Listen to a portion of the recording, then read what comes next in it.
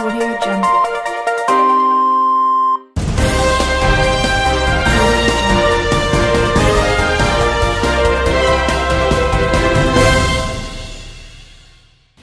Swastiastu Semeton Raryangon Video saya kali ini saya akan menjelaskan sesuai judulnya yaitu Sejarah Layangan di Bali.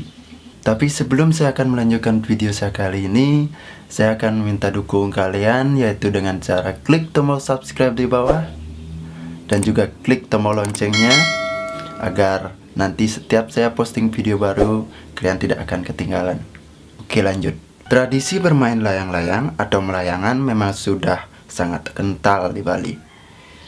Di mana pada masa lampau untuk mengisi waktu senggang, kegiatan mereka juga diisi dengan melayangan.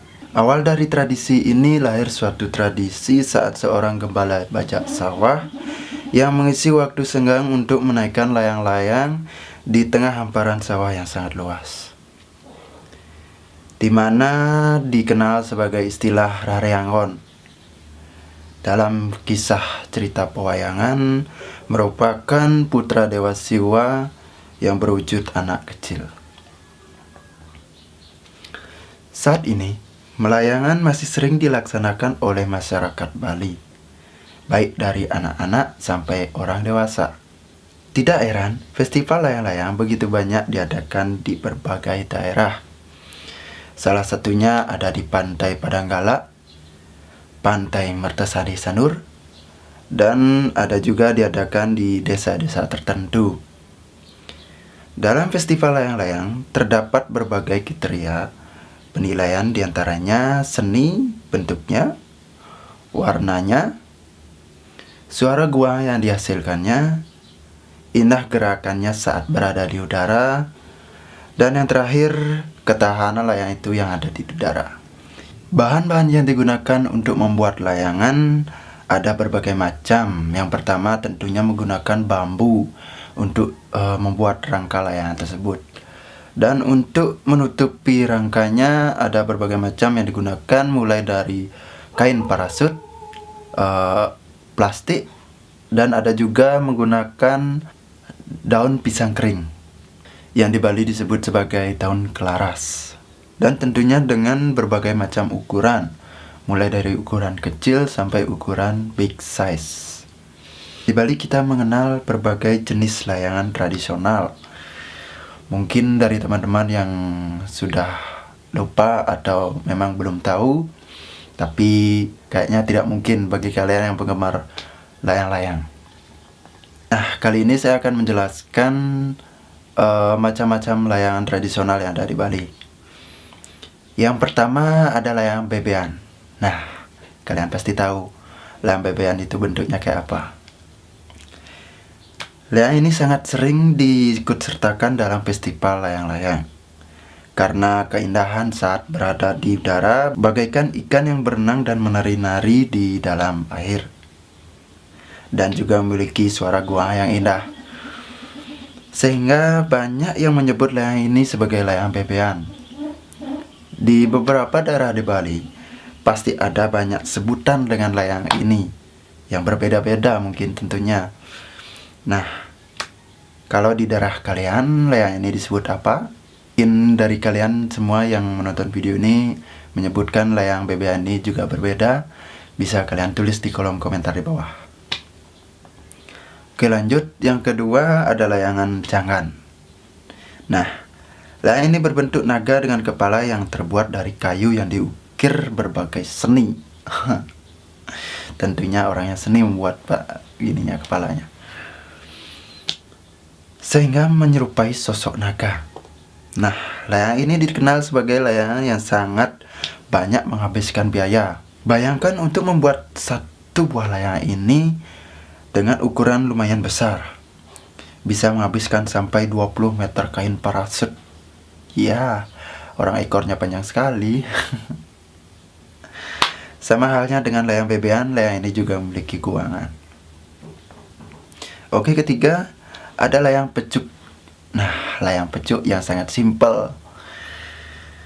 Uh, tetapi dibutuhkan kalian khusus untuk menerbangkannya karena layang ini sangat lincah di udara dan bisa menyambar-nyambar.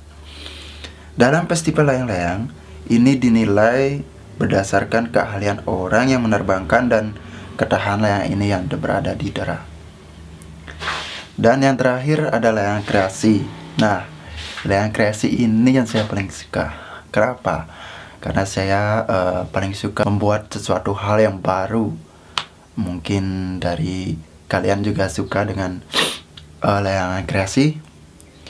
Layangan kreasi merupakan layangan dibuat berdasarkan ide sendiri.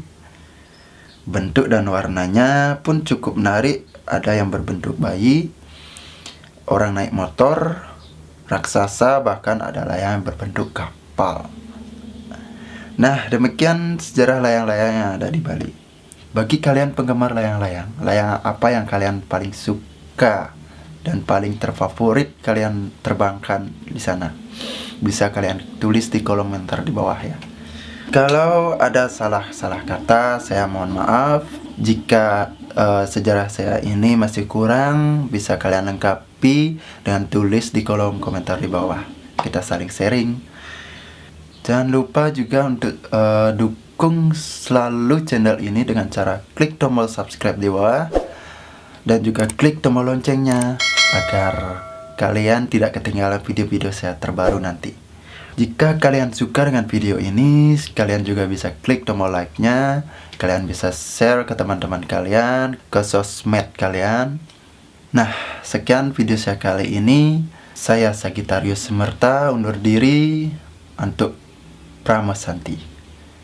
Om Santi, Santi, Santi, Om.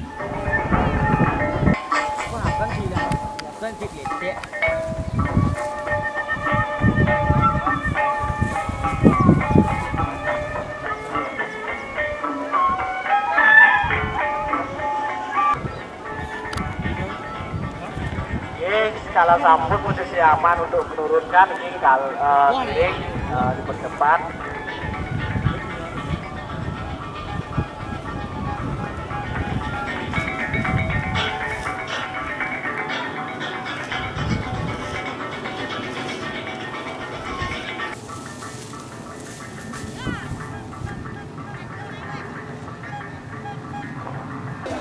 Dia ganti total, dia. Ayo dia ganti total.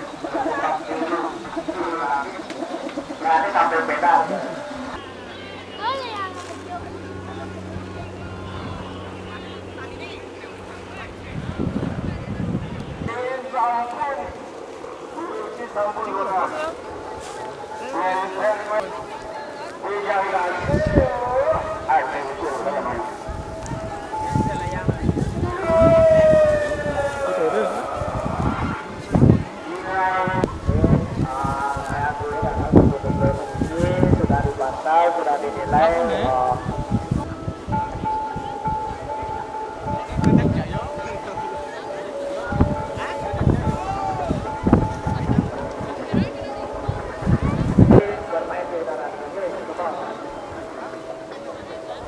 sambil beda.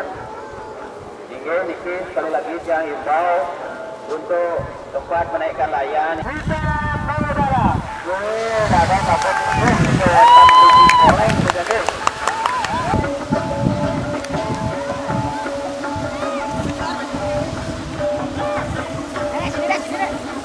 Oh, ke. Dari dumun posisi yang aman wow dipertahankan. Oke. Ada 37 jangan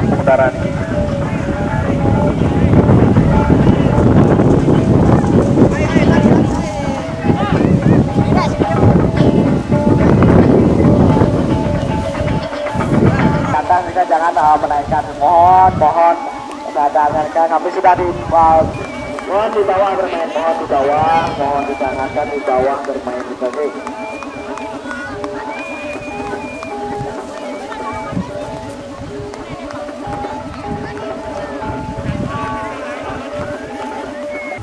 Mohon jangan menaikkan layangan di petak atas.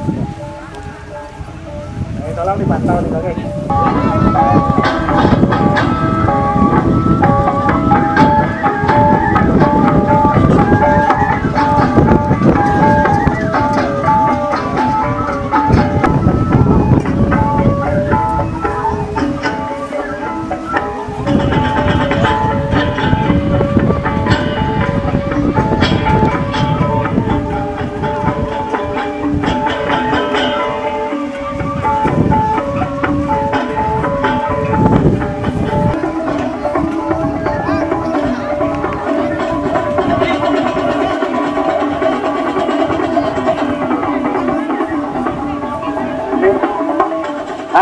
Three minutes silence.